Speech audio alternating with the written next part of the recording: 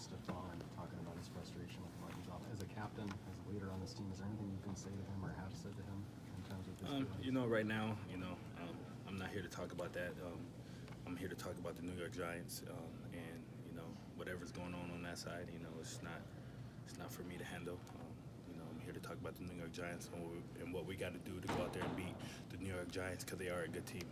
What do you see in that offense? And, and um, you know, Daniel Jones looks good. Um, Piley, um, the best quarterback to come out this year. You know, he's playing well. He can run. He can throw the ball well.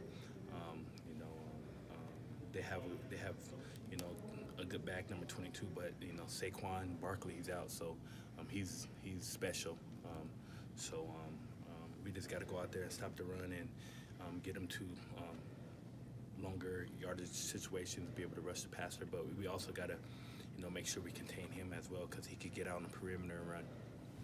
Aside from the first quarter against Green Bay, have you been pretty satisfied with the defensive effort and the result? Um, I feel like we can start faster. Um, I feel like we, it's always like a little lag we have. Um, I feel that we got to come out and um, not let the opponent score. You know, um, um, you know, we just got to start faster. I feel like, um, yeah, I feel like we, we can start faster for sure. What's the difference in the offense between having Barkley out there and having Gallman out there? Huh? What's it like preparing for Gallman instead of Barkley? What's the difference in the offense for the Giants? Um, um, I think that you know you're talking about the quarterbacks, right? No, no, no, the running, their backup running back, Wayne Gallman. Oh, okay.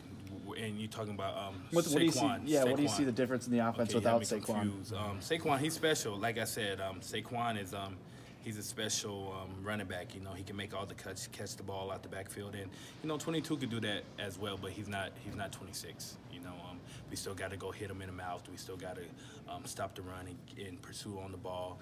And um, we can't let we, you can't let any running back in this league to get to get going. But 26, he's special. Um, he's just a special kid. Yeah, with Pat Shurmur leading that offense.